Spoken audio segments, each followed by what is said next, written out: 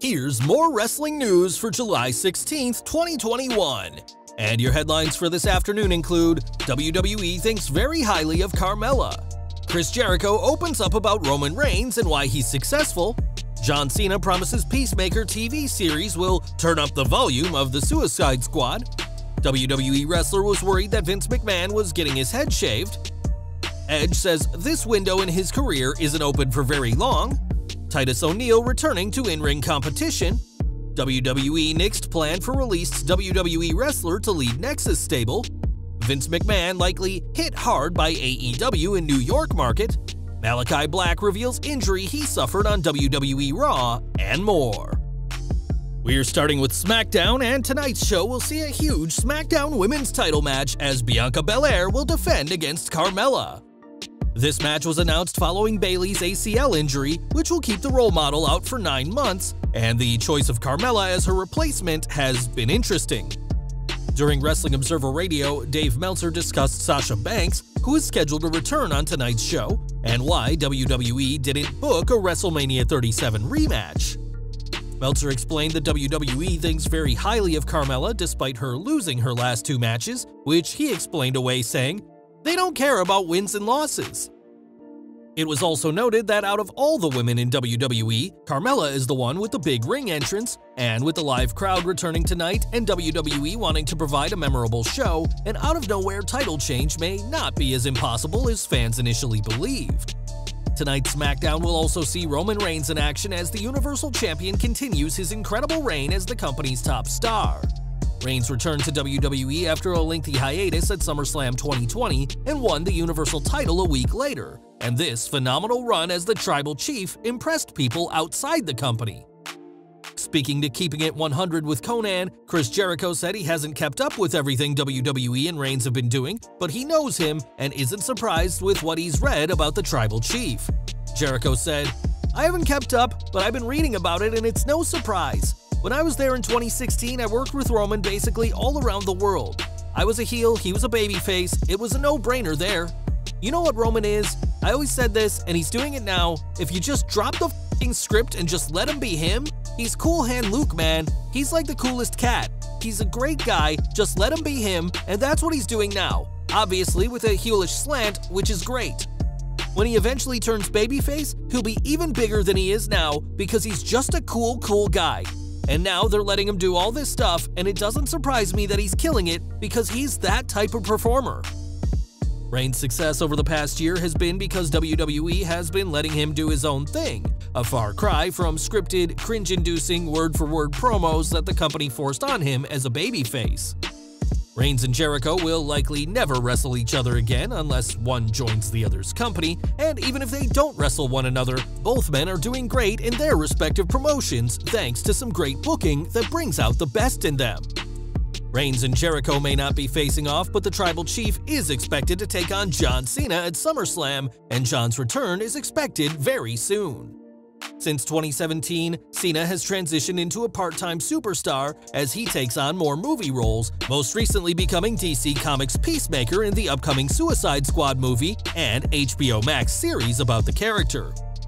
In an interview with EW, Cena discussed his character, which he once again called a douche Captain America, saying, I would venture to say that Peacemaker actually turns up the volume on anything you see in the Suicide Squad. I want people to enjoy the Suicide Squad, and I really think they will. Once they get a feel for these characters, they're going to want more, and that's where Peacemaker picks up. The Peacemaker spin-off series will be for 8 episodes and is releasing in January 2022, and expectations are high for the show. Whether Cena is a record-breaking 17-time WWE World Champion by then remains to be seen, but after a decade of carrying WWE through the PG era, he's confident that fans will want to see more of Peacemaker after the Suicide Squad releases this month. In 2002, Kurt Angle and Edge faced off in a match that saw the Olympian lose both the match and his hair, and in the 19 years since then, Kurt's hair hasn't grown back. This week, Angle had his old nemesis as a guest on his show, and the pair discussed the infamous match from that year's Judgment Day pay-per-view. Edge explained that throughout the day of the show he was stressing, and for good reason. As he explained, Well, it was. So, Shane all day was trying to convince me that I'm getting my head shaved, getting my head shaved, getting my head shaved. And he will, to this day, he will say that I bought it. Now, there might have been a percentage of me that went like, God, this is Vince and these guys, you never know. There is that possibility, but I don't think so. Which just goes to show how much has changed. Like, we literally, I didn't find out what they actually wanted, like, probably 4 in the afternoon. Angle confirmed that Vince wanted Edge to think he'd be losing his blonde locks, and the rated R superstar added, Well, I know what my head feels like. It wouldn't be pretty, it wouldn't be pretty. It'd kind of look like, remember that old vampire movie Nosferatu? That might be me. Edge eventually did cut his hair years later, though he wasn't bald and it did grow back. And it goes to show that Vince McMahon is never afraid to prank his own superstars for his own amusement. Speaking of the rated R superstar, Edge will be in tonight's huge six-man tag team main event where he'll team with the Mysterios to face Roman Reigns and the Usos. During this week's edition of The Bump, Edge discussed being able to headline such a historic show and admitted that fans should enjoy him in the ring while they still can. It's huge. Ray and I talked about it. I mean, this will be Dom's first match in front of an audience. I mean, that's so cool. I don't look past that. I appreciate it. I savor it. I just want to sit in the pocket of these experiences because I know this window isn't open for very long, so I need to enjoy it. The WWE Universe haven't seen Dominic compete in person yet, and a strong showing tonight could do big things for his career for years to come. As for Edge, the idea of him wrestling on SmackDown was impossible just a couple of years ago, and we'll have to see if the Hall of Famer can add one more world title to his resume before he retires again for good. For the past year, Titus O'Neil has been a busy man, representing the WWE as an ambassador and continuing his various charitable efforts. It's been quite some time since the inaugural 24-7 champion last wrestled, but the Hall of Fame Warrior Award recipient is now getting back in the ring. Speaking to DAE On Demand, the WrestleMania 37 co-host explained that there are plans for him to get back to action, and it'll be within the next few weeks.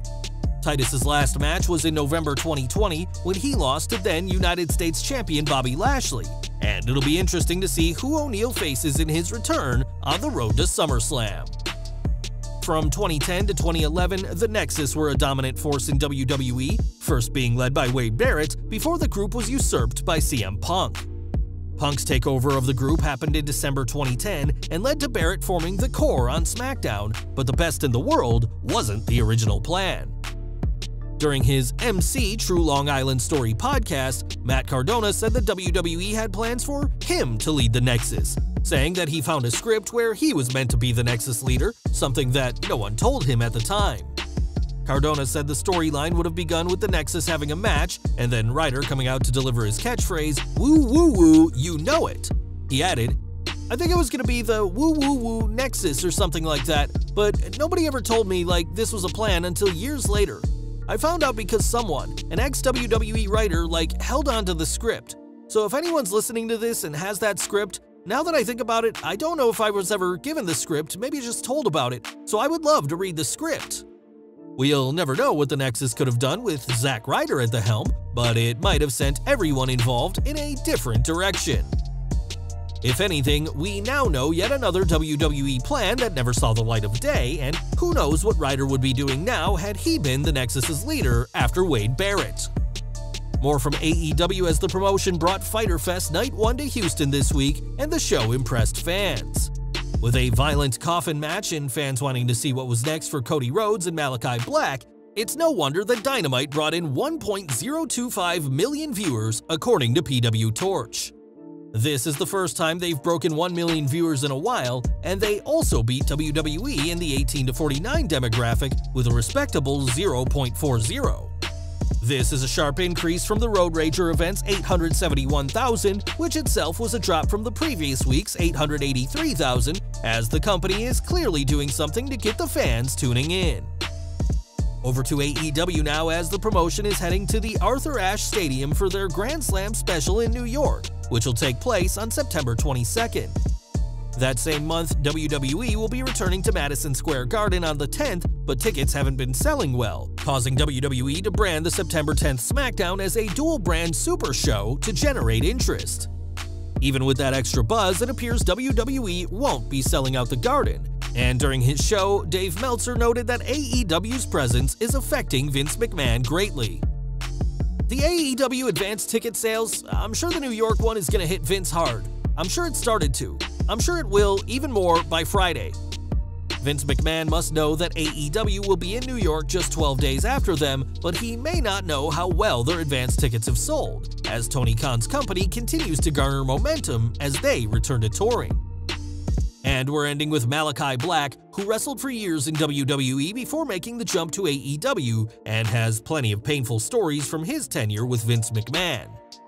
During his wife's Twitch stream, Black explained how he once strained his MCL during a Raw match against an enhancement talent, saying that his opponent turned during a low kick, saying that the enhancement talent was probably scared.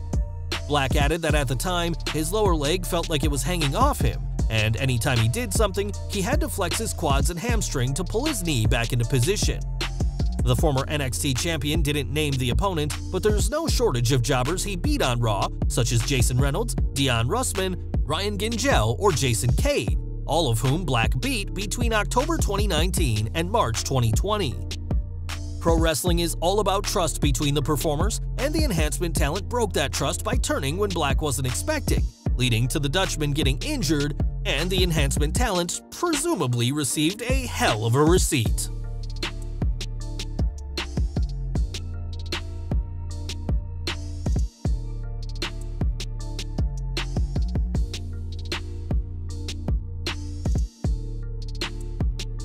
Well guys, that's our news for today. Please share your comments below. Also hit the like button, subscribe to our channel, and hit the bell icon to receive all notifications. And as always, thanks for watching.